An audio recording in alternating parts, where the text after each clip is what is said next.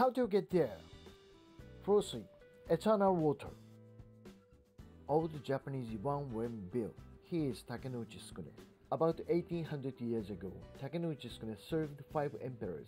It is said that he drank the water of eternity and lived to be 300 years old. This time, I will introduce how to get to Furosui from the precincts of Kashigu. First, enter the precincts and proceed to the right.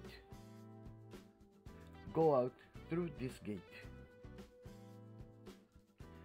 Go straight through the gate and go down the hill. Go straight past the old palace and cross the bridge.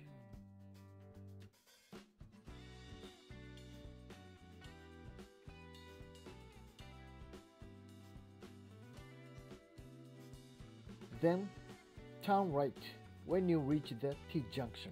And then you will come to another T junction, so turn right again.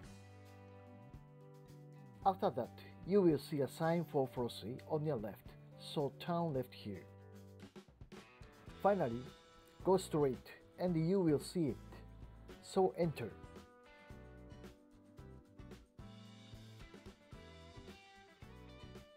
Please go inside.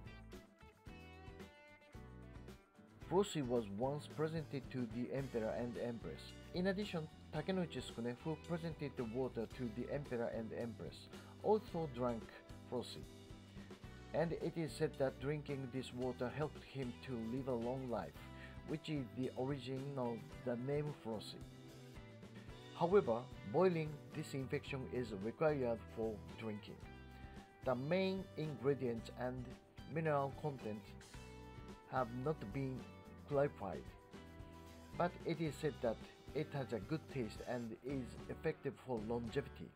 Every year, many people from outside the prefecture visit the water sampling site in search of eternal water, Furosui. It takes about 10 minutes from Kashigu to Furosui. Why don't you take a walk and drink water for perpetuity? Thank you.